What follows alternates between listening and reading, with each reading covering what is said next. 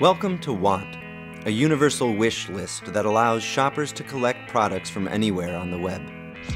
Shoppers' want lists live within the Want community, where users can discover people and products based on similar taste. Shoppers can add wants by hitting the Want button on any of our 500 partnering sites. The button automatically pulls product name, price, and store information.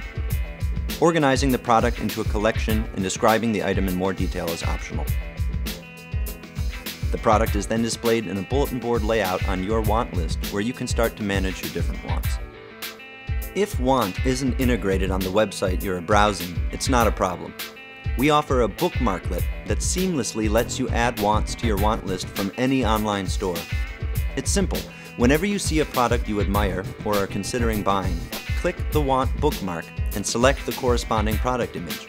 Like the Want button, the bookmarklet does all the work by pulling in the correct product detail. At the simplest level, Want serves as a way to keep track of the products you love. But the real essence of the site lies in connecting you to others in the Want community and discovering new products from them. This user also has an affinity for old Hollywood prints. Whenever you come across an appealing item within the site, you can simply re-want it by clicking the button, instantly adding the product to your want list. The founder of the item will receive attribution for their find and that you acknowledge their taste.